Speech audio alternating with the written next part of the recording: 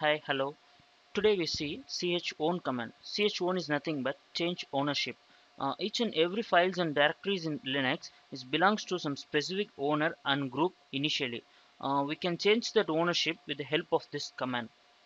So now the basic syntax of this command is chown and uh, options and the username that is the uh, owner name and the group name which the files or some directories it belongs to.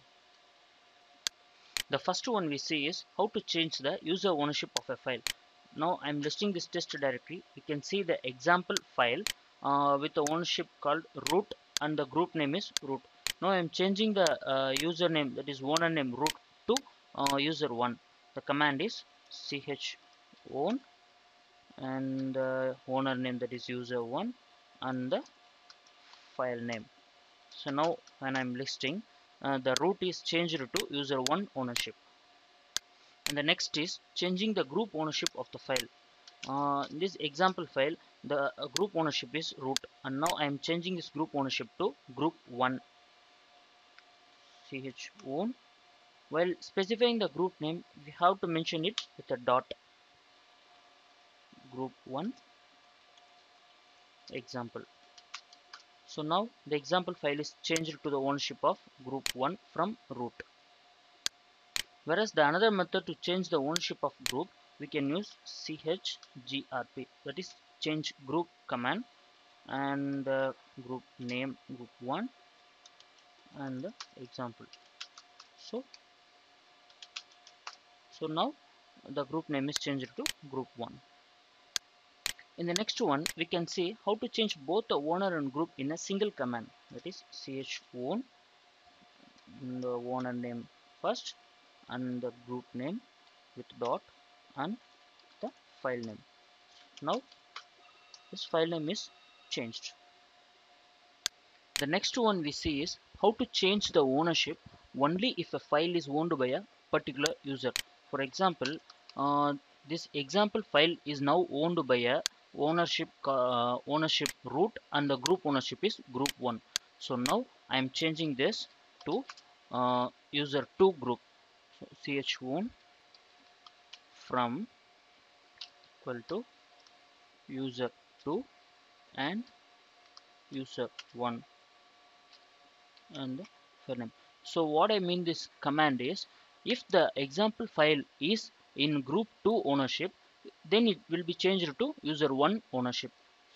While running this command it won't show any changes since the example file is already in root ownership. So now I have to give here root instead of user 2 root and user 1 now and now this ownership is changed to user 1 and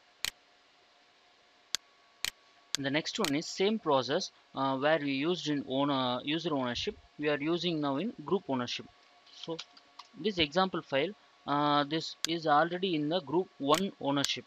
So now I am giving the same command chown from equal to dot group 1 and now dot office example so what I mean in this command is uh, if the example file is already exist in group 1 ownership it will change to office ownership. So while running this command it's already in group 1 ownership. Now it's changed to office ownership. And the next option we're gonna see is how to copy the owner or group settings from one file to another.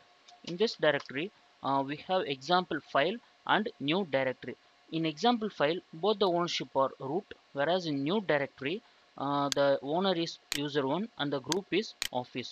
So now I am copying this ownership to example file. The command is chown hyphen reference. So now the reference equal to new directory and the directory that is file to be modified